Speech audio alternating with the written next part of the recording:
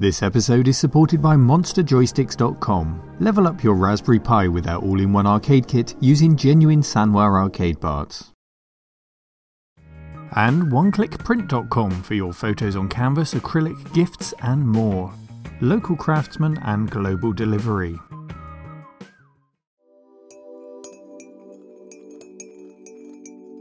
Today's guest is a man whose voice has brought to life some of our favourite video game characters in games such as Twisted Metal 4, Sonic Adventure, and Star Trek Online. But there's one character he's known for above all of them.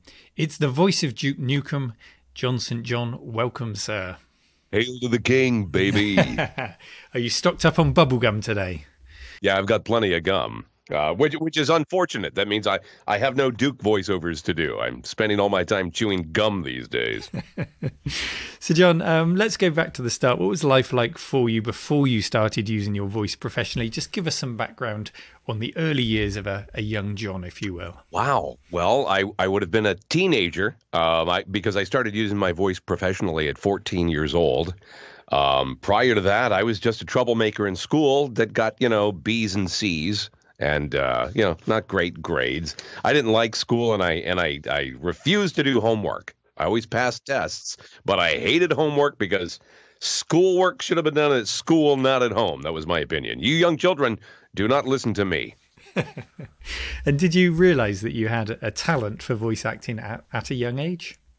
You know, my uh, my brothers and my sister did because uh, you know we we grew up watching Saturday morning cartoons on on American television, and and I would uh, do my impressions of the characters all morning long, and then all day until my brothers you know would sit on my head and fart and make me stop doing it. um, but uh, yeah, I, I, knew early on, and then um, when I was uh, a young teenager in junior high school. Uh, I started doing voices, uh, you know, at school just to entertain my my friends, and uh, they all suggested that I I go down to the local radio station and get a job, and by golly, I did. Oh, okay. Um, just talk us through that then. How did you land that first job at your local radio station? It was like I got a wild hair up my ass, and I decided one day to ask my dad to drive me down to the local uh, AM radio station uh, because I, I, wanted to see if I could get a job. I, I uh, had been a, a, switchboard operator at a Howard Johnson's hotel prior to that, which was not a very good experience. and, and I knew I needed something else because I wanted to work. You know, as a kid, I wanted to make money to buy stuff. And uh, so one Saturday afternoon, my, my father agreed to drive me down to the radio station. I, I met the program director who was on the air at the time. And he said, Yeah, just go on down to the basement of our production studio, make me an air check. And I, and I said, Duh, what's an air check? And uh, he said, Well, okay, there's a bunch of 45 records down there and a reel to reel recorder and a mixer. So you just uh, talk into the records and record it on the reel to reel. And I said, Okay. And, you know, he did his four hour radio show while I sat down there in the basement studio and uh, played with the equipment until I figured out how to do it. Probably took me an hour just to figure out how to work the gear. and then I started talking up the, the ramps of Barry Manilow records and you know ABBA records. And after his airshift, he came down to the production studio. Said, "Okay, let's listen to what you got." And he played the tape back, and he said, "Okay, you're on next Saturday night." Oh wow! And it started okay. just like that. I was hired immediately. As easy as that. yeah, really. I mean, right place, right time. I guess. Mm. I, I, understand the sentiment on the switchboard. One of my earliest jobs was uh, working on a switchboard. I think I lasted two weeks um, yeah. I, I, would have preferred if the traffic was one way. That's for sure. right now, when, when you were working the switchboard, I'm I, I, don't mean to to have you date yourself, but how many years back are we talking? Hmm, that would have been about 1994, around about oh. Okay, so that was uh, the modern age. This is the 70s when I'm doing the switchboard, and it's all uh, pull cords and patch plugs. You know? yeah, there was no plugging and unplugging for me. That's exactly right. You just did the universal symbol for that. So, of course, um, what my audience is going to be most interested in is the video game aspect of your career. Sure. Were you a gamer as a kid? Uh, I loved the original Nintendo games when they came out. And I had the Atari when I was a kid. Uh, mostly for me, it was uh, arcade video games back in the 1970s. I mean, when Pong came out, and then, uh, gosh, so many, uh, so many other really cool old games like. Um, Oh shoot! Now I can't remember the name of them because I'm so old. Uh, Defender, uh, Galaxia was one that I really enjoyed playing. Um, I'm trying to remember the name of the uh, the game where you you'd spin the dial and shoot in toward the uh, geometric figures to take out the uh, asteroids. The, the project- that one? No, it wasn't Asteroids, No. but Asteroids is another one that I played. Yeah. Uh, but my gaming experience uh, was, you know, way back when uh, at the arcades, and then in the um, late '80s, early '90s, uh, I was one of the first to get a 16-bit game uh, system called TurboGrafx 16. And uh, my friends, after uh, after a long day at the radio station, uh, we would play football all Friday night, all night long. You know, drinking beers and playing football. And uh, that was pretty much my video gaming experience until Duke Nukem came along, and that that it reignited my my love for playing games. Hmm. Tempest was it Tempest with the dial? Tempest, it was There we go. exactly We got there. cheating. Somebody told no, not at all, not at all. So you just mentioned Duke Nukem there, of course, which uh, you're you're most well known for in the video game circles. How did you become involved then in that Duke Nukem project in the first place? Well, I had moved here to San Diego in 1990 from Philadelphia um, as part of my radio career. And at that point, I was no longer a DJ. I was a production director. You know, I was making the commercials and the promos and and making parody songs and doing musical productions, that kind of thing. And um, one uh, Friday afternoon, we had a female voice talent come in to record an auto dealer ad by the name of Lani Minella. And I'm sure a lot of your your viewers and listeners know the name Lani Minella. She uh, is a pro- prolific voice actor herself, and uh, was at the time one of the top casting directors in the video game industry. So she came in to record this auto commercial, and while I'm setting levels on her microphone, she goes into all these wacky, crazy voices. And uh, so I decided I put on a uh, turned on my microphone and started making wacky, crazy voices back at her. And she said, Wow, you've really got range. Would you consider voicing video games? And I said, Voicing video games? There's no voices in video games. I mean, this was 1994. She said, Well, there's about to be, and there's this game that you might be suited for. We we, we like the timbre of your voice for this guy. Uh, it's called Duke Nukem. And of course, you know, the first time you ever hear Duke Nukem, you laugh. So I laughed. And she said, well, You know, you laugh all you want. This is serious. This is a real job. Are you interested? I said, Sure. So the following day, the, the Saturday, I came back to the radio station on the weekend to uh, to connect with George Broussard in um, Texas uh, who is one of the creators of Duke Nukem, and and he was the one who was uh, decidedly going to cast the character. So Lani and I are in the studio. George is on the phone. George describes the voice he hears in his head as Charles Bronson, and I went, "Well, Charles Bronson kind of sounds like this. And uh, Lonnie said, No, no, Charles Bronson, that's not the tonality. Think more of Dirty Harry, the Clint Eastwood Dirty Harry. And I went, Go ahead, punk, make my day. And George said, You know, that's that's a good sound, but Duke is roided out. He's a big monster of a guy. And I said, Oh, I'll just lower my voice. and went, Go ahead, make my day. And he said, That's the voice. And it stuck immediately. And it's interesting the the the uh, the similarities between getting cast as Duke Nukem and, and being cast as Big the Cat kind of happened the same way. I did one stupid voice for Big the Cat when they said it's a stupid character, you know, big dumb cat. I, I did a, a Big the Cat voice like this. And immediately the Japanese director uh, on the line from Tokyo said, Yes, that voice. And I went, No, no, I was just kidding. I said, No, that's what we want. So, you know, first try sometimes works. That was Big the Cat in uh, Sonic Adventures, wasn't it? Right, right. Yeah. So so Duke's voice developed really that quickly. There weren't any other rejected versions of Duke's voice or anything like that. It really was that smoothly done.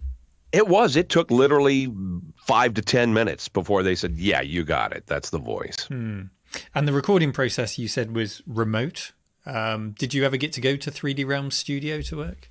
No, no. In fact, I uh, I don't know that they even had studios back then. Everything was done from uh, remotely from wherever you could. So I, I recorded everything. Uh, all the Duke voices for the original games were recorded at the radio station on a uh, an AKG C414 microphone. I thought you might be interested in that. okay. but at this point, even when you were recording the lines, your expectations must have remained pretty low for what this might turn into. Um, because you'd already said, you know, voices, they don't exist in video games. So it must have just been another gig to you at this point. It- was. I had no idea that there would be any kind of following or anything. But, you know, when I got a copy of the game and I sent a copy of the game to uh, my oldest brother back in Virginia, he and I would play Duke matches online through the modem. Remember, it took five minutes to connect and you'd play for like 15 minutes and it would disconnect when somebody called or tried to send a fax. Remember faxes? And uh, yeah, I had no idea anybody else was ever playing the game. in the beginning. I thought, okay, yeah, this is a cute thing, whatever. Yeah. So it was never weird to you to sit and play the game and hear your own voice. Oh, it was thrilling.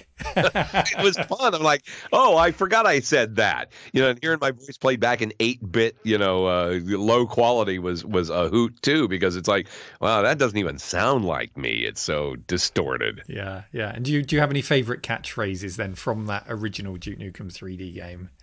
What are the uh, what are the ratings on this program? Oh, I'll bleep out anything that needs to be. Don't worry. okay, well this one this one can be used. This is from Duke Nukem Forever, and it's my favorite line because it's naughty but not nasty. It's uh, I had eggs for breakfast. Your mom had sausage. right? so, and, and by the way, I should let you know that was written by a woman, and all of the lines in Duke Nukem Forever were written by two women because I, I think they're just naughtier than guys are really. Yeah. More creative in the use of their language. Instead of just using an expletive they could a bit more imaginative such, perhaps yeah. such a polite way to put it. You're yeah. so polite. Everybody in the uk you're all so nice and polite.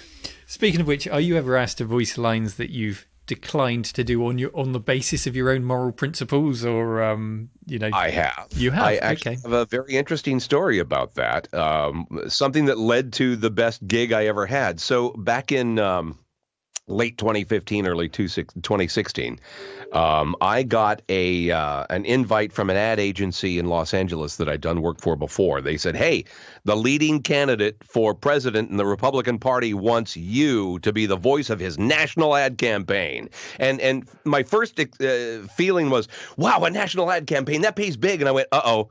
Are we talking Donald Trump? And they said, yes. And I went, no, thank you. And the guy goes, "Serious? It's it's a national campaign." I said, "Yeah, well, I I couldn't live with myself if I helped him get elected." So I turned it down. And then a few days later, I posted on Facebook.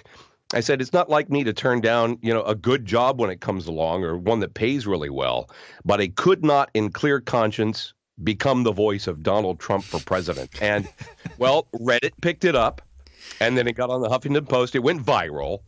And um you know, a lot of lot of lot of clicks, a lot of likes, a lot of shares, and the next thing I know, about three weeks later, I get a call from the creative director of an ad agency in New York City. Who said, Hey, we're doing a big year long campaign for the Bud Light party. And you're the guy who's Duke Nukem, right? And I said, Yeah. He goes, I'm a fan. I couldn't believe the guy was a fan. He said, I saw what you said on Reddit about not doing Trump's uh, voiceovers. I think you're just the man for the job. So uh, there was this year long ad campaign in 2016 that featured uh, Seth Rogen and Amy Schumer called the Bud Light Party. And I was the voice of it. So raise one to right now, the Bud Light Party. And uh, the rest is history. That was the best paying job that I ever got. Paid my bills for three years on that one gig. And it's all because I would not do Donald Trump's voiceovers. That's a nice story. Yeah, sticking to your moral principles paid off in that instance. That's good to hear. Yeah, good to hear. Lucky with that. Hmm? So Duke Nukem 3D was released in 1996, I believe. Um, but there is a lesser known game from the same year which had the most outrageous voice clips in the menu. And I didn't know that you'd voiced this until I was researching it today, but it was a game called Big Red Racing. Do you remember voicing oh, that yeah. game? I forgot about Big Red Racing. That was a long time ago. Yeah, there were some outrageous clips about fingers and belly buttons in the menu. And oh, yeah. can you remember any of those clips? I, I, wish I could remember them. Do you, you, don't happen to have any archive that you could play? Oh, I tell you what, we'll cut some in now so that the viewers oh. can hear. Yeah. And now, just what you've been waiting for the expletives portion of this tape. Woohoo! Why, that ain't my belly button. well, that ain't my finger neither. Jeez, come on! What are you waiting for? Christmas? Hey, Baba Looey, I'll do the driving round here. Yeah, that's all, folks. There we hey, go. those great. Thanks for sharing them. seamless, seamless. Right. so, um, how influential then was the success of Duke Nukem on your career after '96? Did it open doors primarily for the video game work, or or did its influence transgress the entertainment formats for you? It did transgress all entertainment platforms. In fact, uh, well, let's see, where do we start? Um, I, I, I, guess with convention appearances. Uh, for the first six, seven years after Duke Nukem 3D came out, I didn't know anybody played it. It had a following. And then all of a sudden, I started getting calls from uh, the con chairs of different conventions around America uh, saying, "Hey, would you come be a guest?" And I said, "Why?" they said, "Because you're Duke Nukem." I went, "Oh, people like that game?" And, and they quickly informed me, "Yeah, it's huge. People love it. It's a, it's, it was like the first big first-person shooter with a voice to it. You know, a real, a real uh, personality."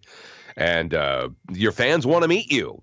okay, I'm good with that. So I've done so many conventions over the years and all around the world. I, I was in uh, Plymouth uh, in England uh, back in 2014. I went to Australia. I've got invites to Dubai and Germany, and you know, so I get to travel all over the the world doing uh, convention appearances and being paid for it, which is so cool because I would have done them for free. Don't tell him. but just to meet the fans and hang out with them, I, I you know, which I do. I, I love going to conventions mainly to meet the fans because they're so cool. And, and and any huge group of people that give you unconditional love, how can you how can you not just thrive on that? You know, it's been great. And and the other doors that opened for me, of course, were more video games. As it turns out, you know, as the years went by, um, it, gamer nerds who grew up playing Duke Nukem 3D, who became game developers themselves, said, "Oh, we got to have Jon St. John on our game." So there are a number of uh, probably a dozen video games that I voiced that were based on. It didn't matter if I was the right voice for it or not. I mean, I can always create a voice for a character, but that didn't matter. They just wanted me in their studio to meet me. So like Valve Software, when I worked for them, instead of me using a remote studio they would fly me to Seattle and put me up in a five star hotel and limo me around. I mean, wine me, dine me, 69 me, basically. But because they were fans. And and they wanted to see me face to face in the studio and hang out and drink tequila with me. I'm pretty sure that was a big part of it. And um, so that happened too. As far as uh, the mainstay of my work, you know, it's mostly commercial work that I do, voiceovers.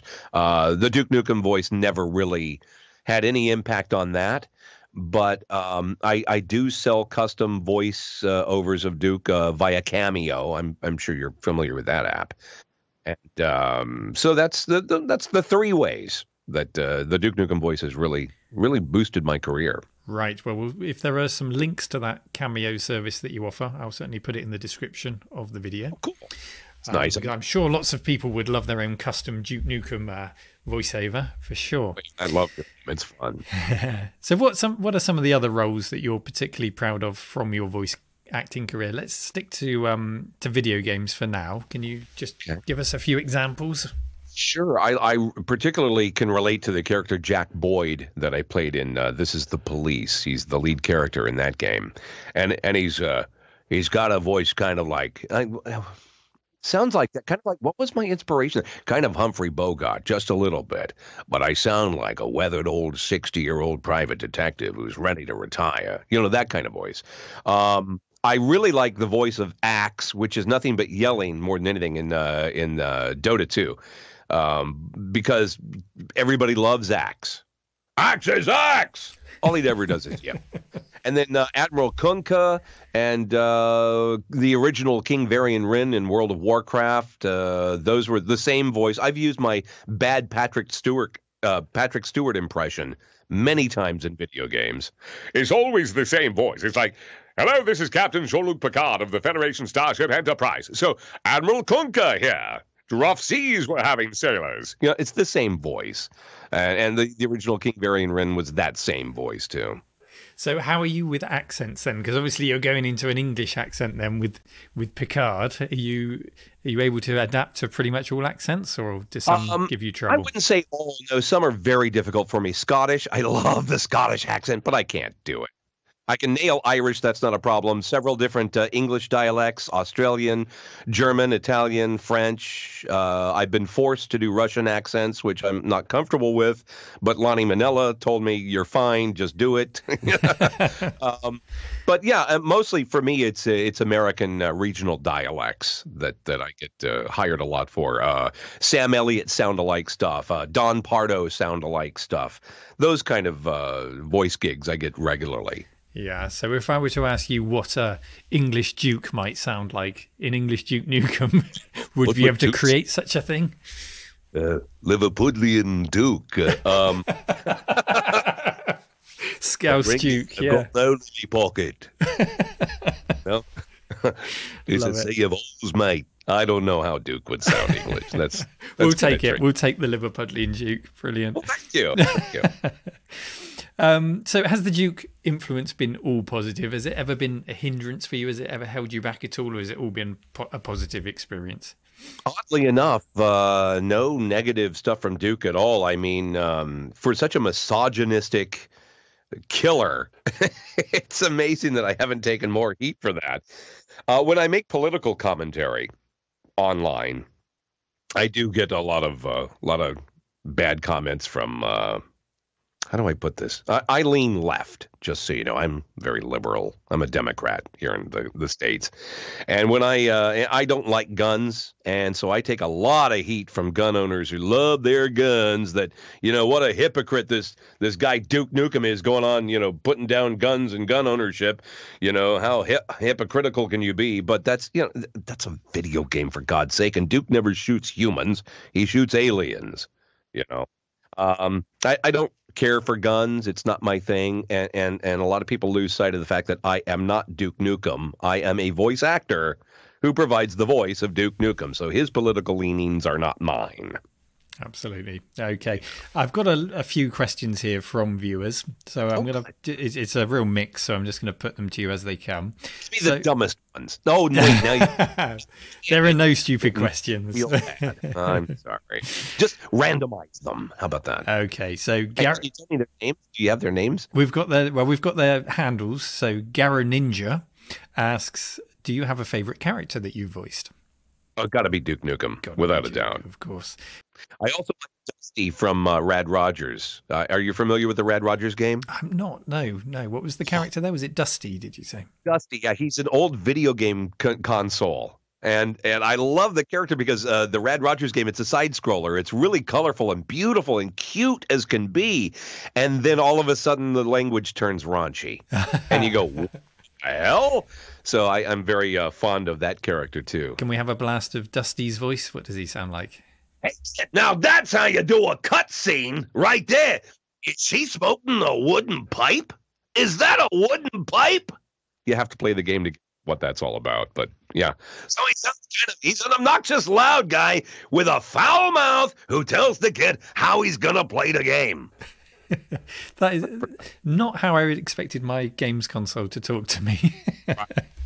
Well, he's he's dusty and old and, and he's pissed off that he's, you know, a has been. Oh, kind of like me. Now we know where the motivation comes from. so, next question Paul Jacobson asks uh, How many people ask you to record a voicemail message as Duke? Oh, all the time. Um, but I reserve doing them for free for fans who come to convention appearances. Um, I, I sell these things on Cameo. You know, usually it's uh, somebody wants me to propose marriage for them or say happy birthday or happy anniversary, and it's like you know thirty bucks, thirty five bucks, fifty bucks, whatever it is on Cameo. Um, but when people email me or try to contact me and say, "Hey, can you?" No, I'm not going to just you know. I get paid to you know do voiceover work, so I, I don't mean to sound like you know a jerk, but uh, I reserve the freebies for people who come to meet me at conventions because I. I think they deserve it. Absolutely, absolutely fair. Um, Luke MC says, You've got to ask him, What time is it? What? The, it's time to kick ass and chew bubble gum, and I'm all out of gum. I'm pretty sure that's what Paul had in mind. I'm pretty sure it is, yeah. Um, Hey, Paul, your face, your ass. What's the difference? Um, Chris uh, Lord asks, "What did you think of Duke Forever? Do you have an opinion on that particular game?" Good. Lord. Um, let's see. Duke Nukem Forever. Personally, I loved it. I thought at the time it came out, it was like the most interactive frickin' game ever because you can you can mess with everything in that game. I loved the dialogue. I liked the game itself. I played it all the way through. And unlike you know you gamers out there who can play through a game in 15, 16 hours, it took me a couple of months to get through it. Uh, I have no talent as far as you know playing games anymore. But I thought Duke Nukem Forever was great. I think uh, it got panned by critics because it sat on the shelf for 12, 14 years, whatever it was. It should have come out in 2001. And I think that when it came out, gamers were expecting some uh, modern Call of Duty style graphics and such, and, and and better game engine, and that didn't happen because Well, you know, the game sat on the shelf forever until Gearbox picked it up and said, "Shit, we got to put this game out. Let's just do it." So they threw it together and released it. And uh, again, I thought it was great, regardless of what you know, little pussy gamers think. Oh, I'm so sorry, gamers. I enjoyed it. I enjoyed it. I know it was rebooted m- many times throughout that kind of development hell cycle uh, and started again, but I enjoyed what came out of it. It was okay. Um, did you find yourself having to go in and re-record things during that period, or did the voices go down at the very end of that that oh yeah, and like usual, you know, as a voice actor uh, in video games, um, I'm like a mushroom. They keep me in the dark and feed me shit. I didn't know anything until three months, literally, before the game was released. They called me one day and said, "Hey, Jon, guess what? It's a cold day in hell." And I said, "What do you mean?" They said, "We're making the Duke Nukem Forever game," and I was thrilled. I said, "Oh, great! It's going to be eight-bit voiceovers again." They said, "No, 16-bit," and I got all excited and tweaked up my studio, rewired everything just for that session, and uh, it was great because this was the first time in my career they said, uh, "Well, you've been Duke Nukem since 1995. We don't need to direct you. Just record the stuff and send it to us." So I got to just do it on my own, which was great because you know I direct other voice actors all the time. I I have a studio and people come in to record here all the time, and uh, I know I can direct myself as Duke, and they let me and uh, it went over quite well with everybody at Triptych Software and then at Gearbox. Hmm. So, given that freedom, did you get to do a bit of ad libbing and, and send in a few of your own phrases, or did you stay on script for that? Um, very little. There's only one line that I've uh, I've been asked about uh, while I was recording the game. My my uh, son used to live with me here uh, at that time in uh, in 2010, 2011, when I was recording the Duke Nukem Forever game, his bedroom is right next to my studio. So he heard me recording and he heard me say something about, I'm going to get that douchebag. And after the session, he came in, knocked on the door, and he goes, Hey, you know what? Uh, nobody says douchebag anymore. I said, What? He goes, It's douche nozzle. That's the dirty, dirtiest part of the whole douche system. And I laughed and I said, well, hell, I'm going to record that. So I re recorded the line going, I'm going to get that douche nozzle.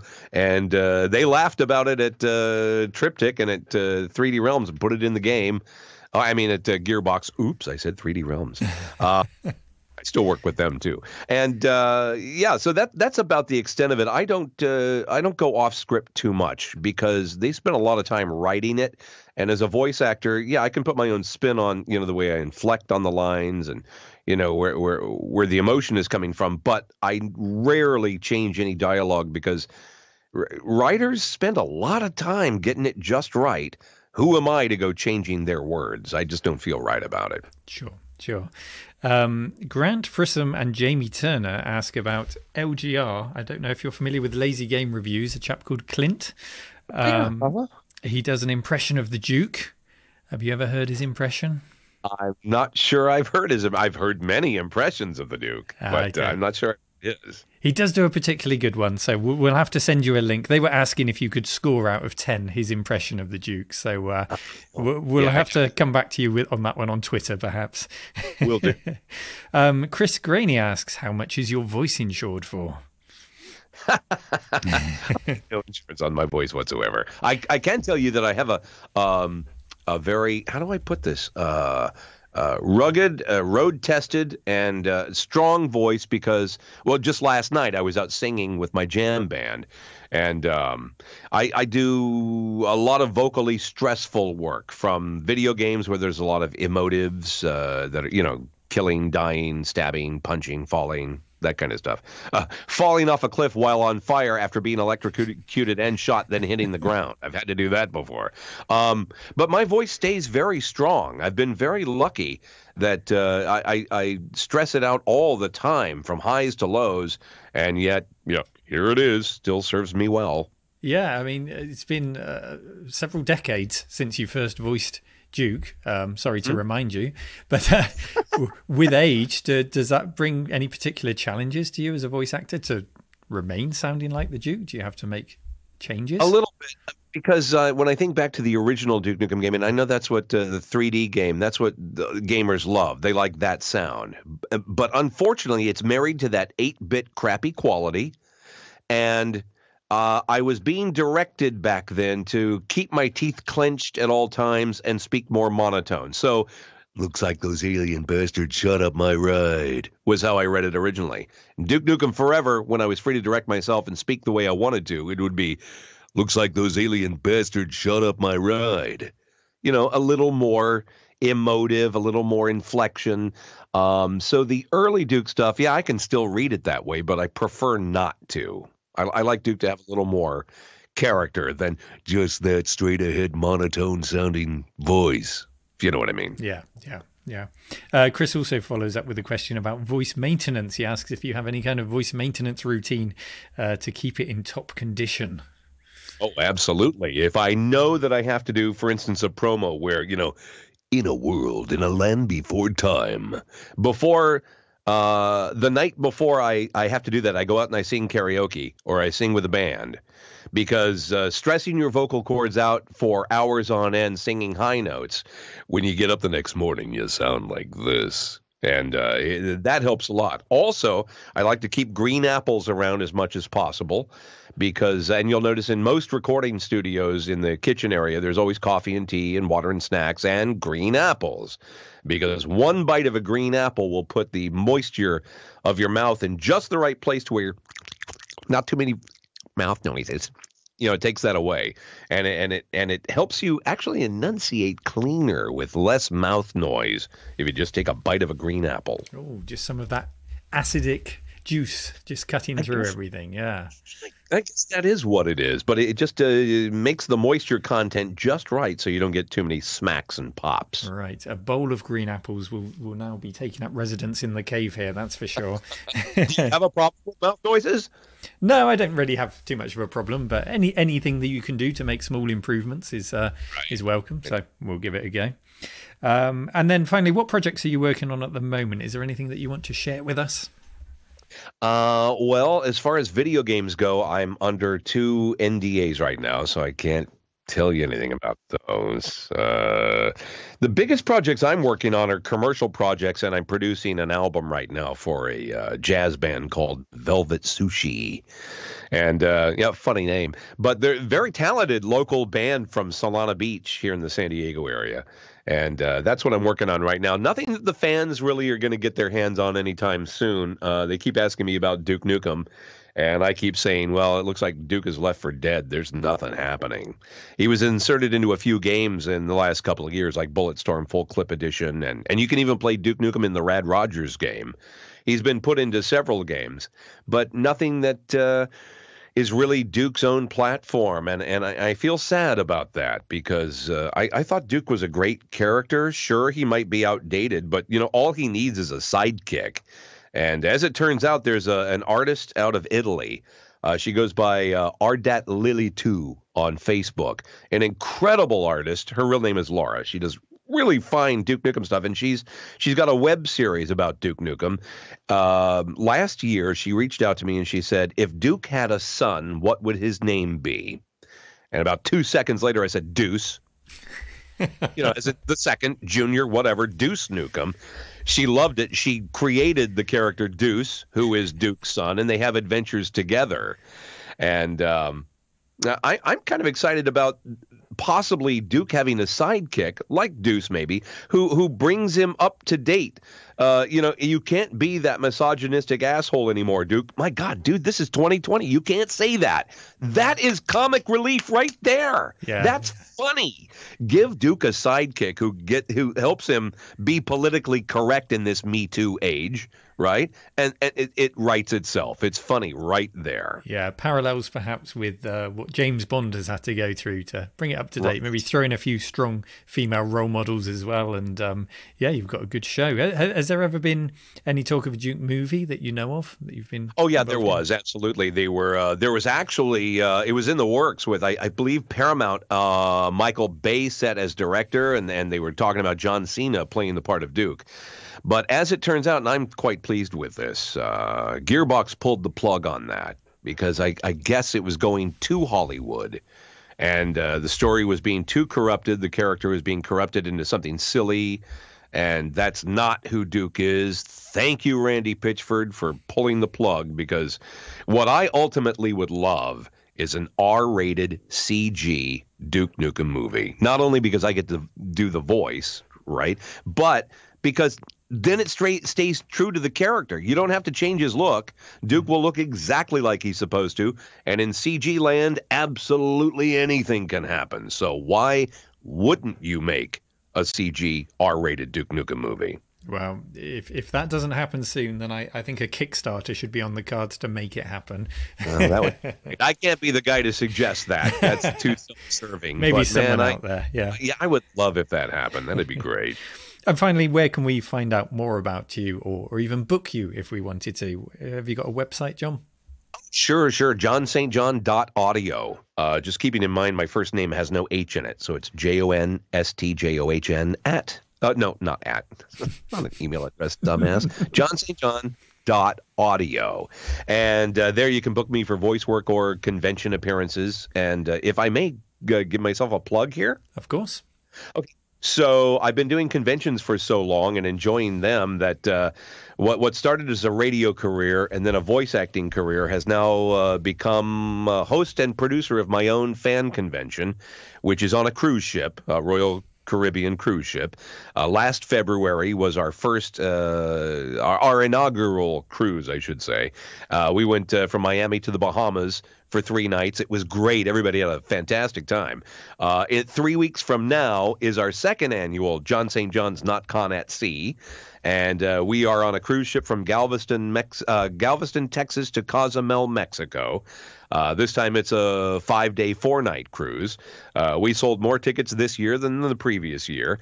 Uh, we got really great guests coming along this year. Uh, in, in the first year, I made it all video game voice actors. This time, it's mostly anime voice actors. So we have uh, uh, J. Michael Tatum and Brandon McInnis coming along, Austin Tindle uh, Samantha Inoue-Harte. They're well known in the anime industry, and uh, they all live in Texas too, which makes it easy for them to get to the cruise ship. but that's uh, that's coming up soon, and that is uh, that's that's my mainstay now. That's the thing that makes me the happiest is working on my cruise con every year. I'm very excited about it. Wonderful. Well, make sure I've got the links for that. We'll put that in the description. Get on a cruise ship with Duke Nukem, and um, well, he's captive then. He can't escape you. So, exactly. exactly. Very good point. well, in in exchange for your plug there, um, can I ask you, sir, please? It's my friend Gary Pinkett's birthday tomorrow, so a little birthday shout out would be great if possible. Holy hell, Gary Pinkett's having another birthday? Hey, it's me, Duke Nukem, here to say happy frickin' birthday. Make it a good one, or else. Amazing. Thank you very much, Jon. Thank you for all of the work that you've done over the years to bring us so much joy in the video games that we know and love. Uh, and Oh, all the best you. for the future, sir. Thank you very much. It's been a pleasure. Thanks for having me. Thank you. If you enjoy my content and would like to support The Cave while receiving a completely ad free experience and access to releases one week before they go public, then visit patreon.com forward slash retro man cave and join the official Cave Dwellers. Thank you for your support.